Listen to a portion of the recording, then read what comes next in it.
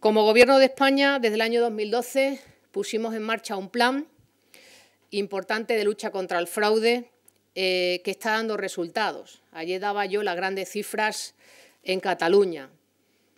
Empleos aflorados 420.000, detección de más de 6.000 empresas ficticias, conversión de más de 253.000 contratos indebidamente temporales en contratos indefinidos y un impacto económico de ahorros para todo el sistema de más de 17.700 millones de euros. Sin duda una cifra muy importante desde 2012 a 2016 que nos da también un motivo de seguir avanzando para fortalecer nuestro modelo de bienestar. Pues bien, quiero anunciar que en el País Vasco se han aflorado durante ese tiempo más de 10.500 empleos. Personas que hoy tienen un trabajo con derechos gracias al reconocimiento y al afloramiento de ese trabajo que han hecho los servicios de inspección del País Vasco y del Gobierno de España en buena coordinación.